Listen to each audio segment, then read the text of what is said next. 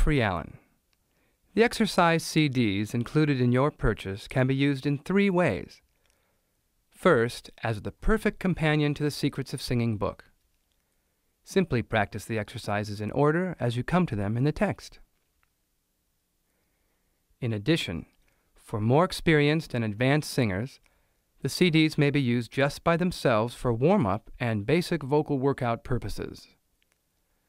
Certain readers may wish to use the exercise discs as a tool to develop one or more specific aspects of their general vocal technique, such as breath control, flexibility, endurance, or high notes. Be sure to read the information in Chapter 3 under the heading Using the Compact Discs. These instructions will help you determine which of the two CDs should be the starting point of your vocal workouts. The exercises themselves are fully explained throughout the book. Refer to the fold-out practice poster that comes enclosed with the Secrets of Singing book as a visual aid whenever possible.